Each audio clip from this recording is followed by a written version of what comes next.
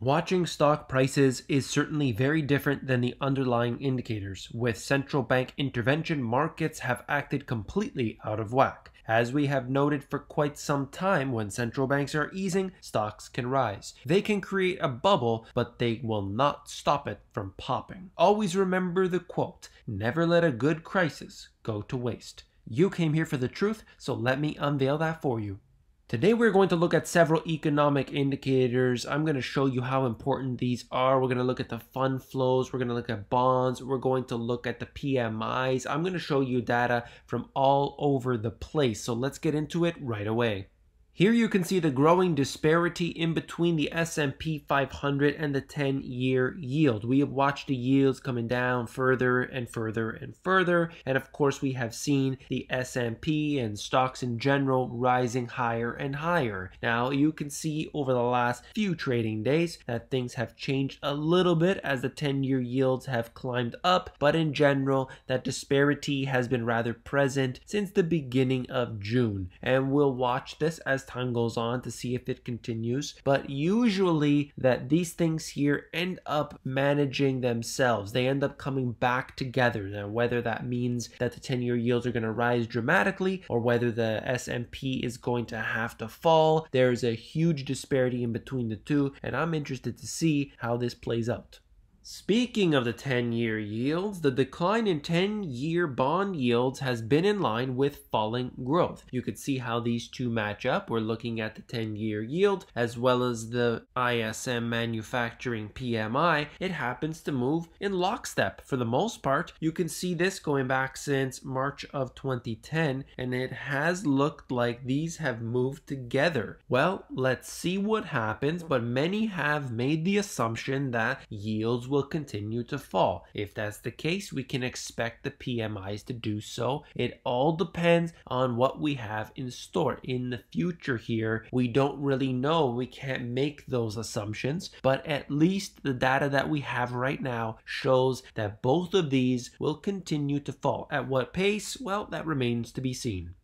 Some of the most important data is available to you through the EPFR. Now, they take all of the fund flows, whether it's bonds, whether it's stocks, they look all around the world, different countries, they put it all together and they give us this really good set of data. Now, it shows you where money is moving into, where money is moving out of. We have seen the stock market trading on very low volume even as it hits higher highs. The bond rally has been underpinned by huge flows, global bond fund flows, you could see the tremendous spike that we have noted basically throughout 2019. This has been at the same time we have seen all of this new highs being produced in the stock market. Many people are looking at it thinking now is the time, now is the time. But it looks like the big investors, the big institutional money, have not been doing the same thing as the seven share of Amazon type investor. Okay, very big difference. There's a great disparity in between those two. Now, this here just shows you what's happening with bonds. Here you can see equity funds have seen huge outflows since December, but the pace is easing. So that just showing you that information. I've been covering this now for quite some time. If you look at this data from basically the middle of 2018, maybe September, October time frame, it really gets to be more exaggerated. We have watched this and it isn't a good sign when you are noting that there's huge outflows in equities at the same time the stocks are moving higher. You know that we have an issue. I'll talk more about that in a second, but just wanted to give you the numbers there because it is important to follow this data. It is very clear to me what's happening with the money, with the institutional money. It's going in one direction. Now, you, as the investor, you have to decide what is best for you, but I'm just showing you the data as it is presented. I've been criticized saying this is fake, this is not real. You know, you have to look at the EPFR, you have to pull that data up yourself so that you can actually do your own due diligence and see the information. Not sure why anybody would say it's fake at all, but anyway, there it is is. CTA long S&P 500 positioning near pre-Q4 levels. So basically we're looking at the computer algorithms and they are right now buying up the S&P 500. So if we look at what's happening specifically with the computer algorithms, it seems like they are moving really towards the stocks trying to get that extra leverage, trying to be able to purchase more and more of those, taking the risk because they are able to sell in an instant instant. They don't have to do what an average investor does. They buy and sell in these fractions of a second.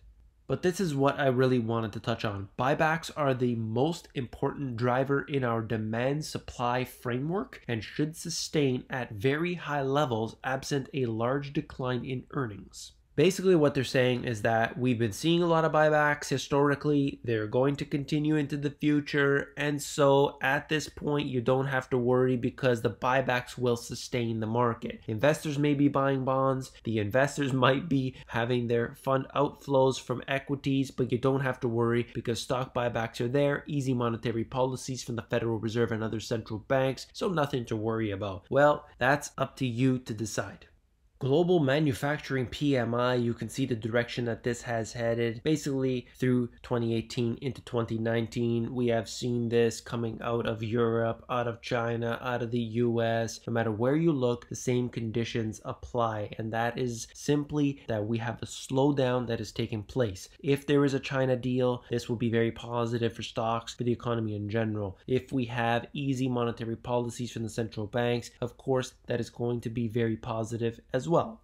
Global chipmaking equipment sales seen shrinking 18% in 2019. We have the trade issues going on right now. China and the US really at the forefront of that, but there have been all sorts of tariffs on all different countries, and it is very clear to me what is happening.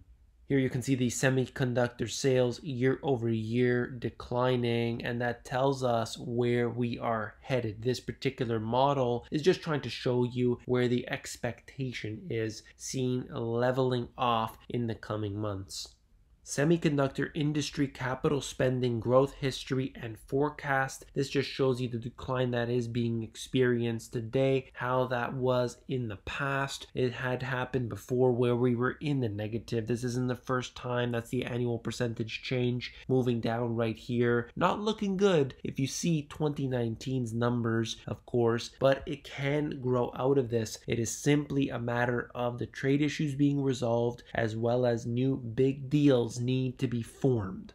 And I want to leave you with this right here. It is so important to understand what to do with this information. I've made myself clear on so many videos, but I know that there are always new people attending these, and I wanted to be clear about this. The most important factor regarding your asset allocation is the economic cycle. The best way to improve your portfolio is to position according to the direction of the economic cycle. Sectors and assets perform vastly different depending on the direction of the economic cycle. When the economy is cycling down, defense defensive sectors greatly outperform cyclical sectors. Remember that, okay? Because a lot of people, they simply just buy into what companies they know and they think that this is going to be the best company ever and I'm just going to hold it for eternity. That's not what these big companies do. And these big companies are the ones that throughout these cycles, so beyond one cycle, they are able to persist. A lot of people go bankrupt thinking that they can time this market, thinking that they can be very strategic about what they're doing. And unfortunately,